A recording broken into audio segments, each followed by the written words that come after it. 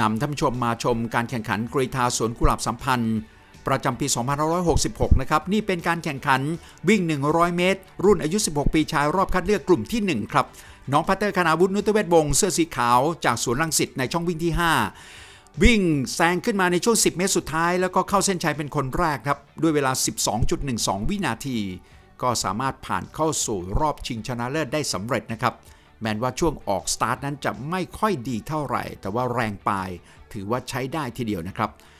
จากนั้นมาดูวิ่ง 200 เมตร 16 ปีชายรอบคัดเลือกกลุ่มที่ 1 เช่นเดียวกันนะครับ น้องพัตเตอร์คณาวุฒินุตเวศวงศ์จากสวนรังสิตเสื้อสีขาวในช่องวิ่งที่ 4 ออกสตาร์ทมาได้ดีครับ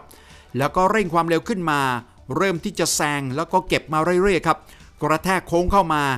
เข้าสู่ 100 เมตรสุดท้าย ตอนนี้แซงขึ้นมาเป็นอันดับที่ 1 นะครับแล้วก็ประคองสโตรกวิ่งอย่างสม่ำเสมอ ทำความเร็วสม่ำเสมอครับ แล้วก็วิ่งเข้ามาสู่เส้นชัย เป็นคนแรกเช่นเดียวกันนะครับทำเวลาได้ 24.84 วินาที ก็ผ่านเข้าสู่รอบชิงชนะเลิศได้สำเร็จสำหรับน้องพัตเตอร์คณาวุฒินุตเวศวงศ์จากสวนลังสิตนะครับในการแข่งขันกรีธาสวนกุหลาบสัมพันธ์ ประจำปี 2566 ครับ